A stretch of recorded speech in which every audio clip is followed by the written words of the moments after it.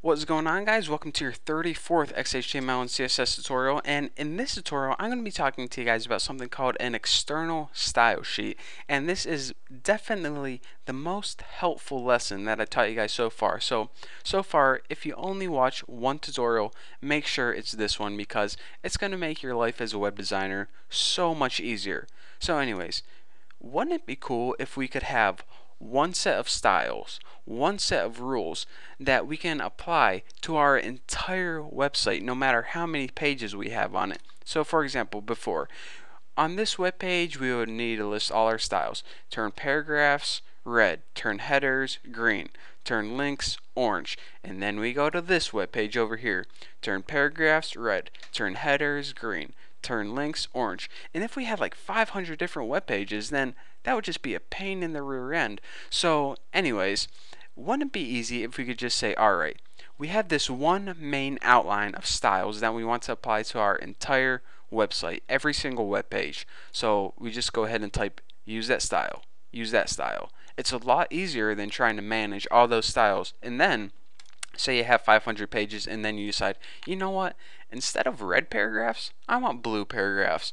Well, looks I'm looks like I'm gonna have to edit 5,000 pages. Instead, you only have to go to one location, change it, and it edits the entire website for you. So anyways, let me go ahead and make a simple website.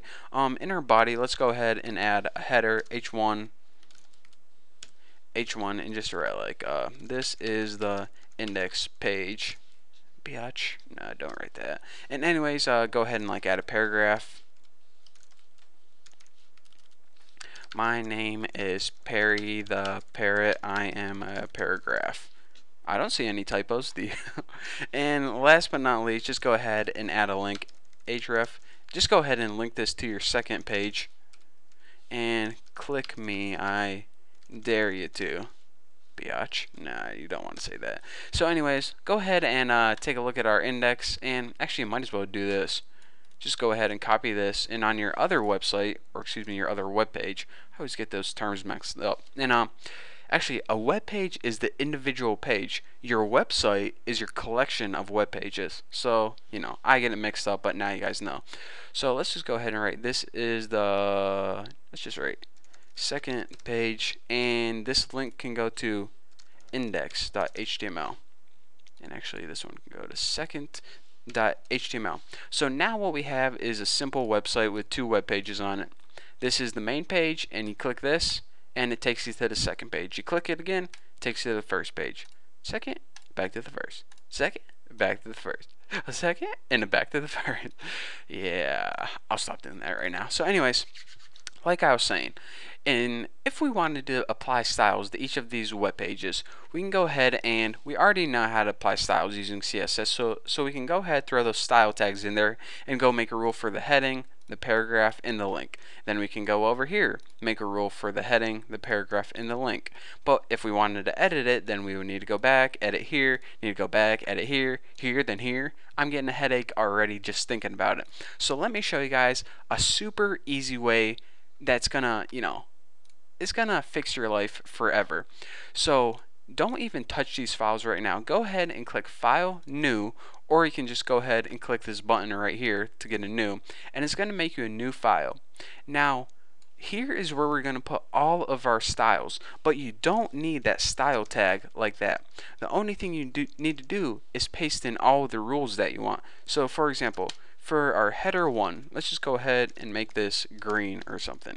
Just make something noticeable that will stand out. Now for our paragraphs, um, let me just think of a couple things real quick. Font, family, Tahoma, I think that's how you spell it. I'm not sure. We'll see if it works. Um, color, red, and font size 20 pixels. That's a nice uh, round number. It's also my favorite number. Did you guys know that? 20. Nice little tidbit of information. Alright, now let's go ahead and make all the links orange or something stupid. Color, orange. So now we have all these rules right here, but how do we tell our web pages that these are the rules that we want to use?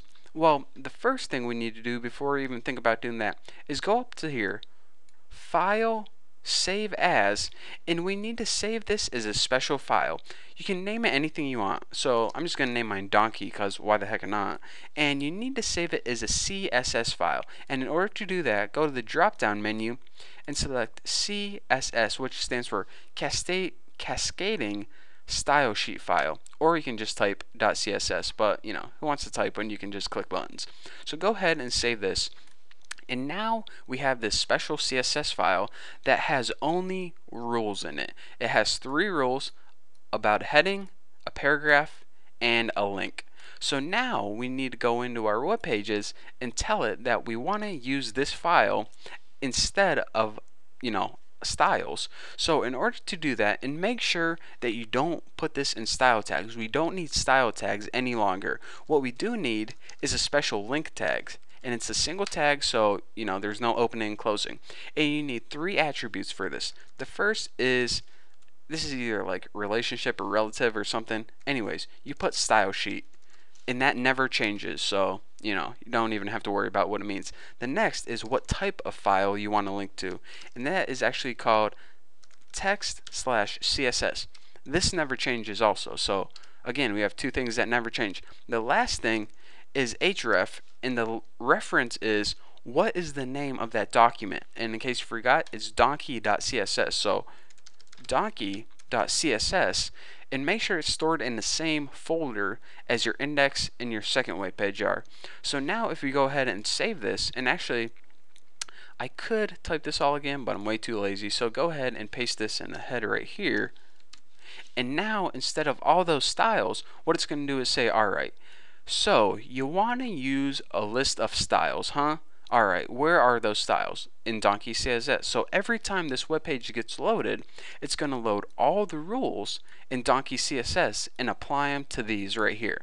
And every time index gets loaded, it's going to look at Donkey CSS and it's going to apply them to these right here. So let's go ahead, refresh this, and see what we got. Now in our index, our headers are green, our paragraphs are Tahoma red 20 pixels, and our links are orange. Pretty cool, huh? And we did this all using an external style sheet. So let's go ahead, second index, second index, check it out. So now let's say we made a website and it now has like 5,000 different web pages on it. And your boss comes in and he's like, yeah, you know all those headers, instead of green, I actually want those blue. And he's thinking that he's kicking you in the butt, making you hate your life because now you have to change a thousand different web pages. But you know, since you use external style sheets, all you have to do is go in this one document and change that word green to blue. Now save this and check it out. Refresh, refresh. Now all your web pages have blue headers. So how much easier is that to manage than just a list of styles? Pretty cool, huh? So that is the beauty of an external style sheet, how to use it, and why it's so useful. So anyways, that's all I got to say. I was like going to be rambling on about something else, but that's basically all I got to teach you. So anyways, thank you guys for watching. I hope you enjoyed this tutorial. Super important one. So anyways, I'll see you in the next video. And uh, if you get bored, don't forget to check out my website. So I'll see you guys later.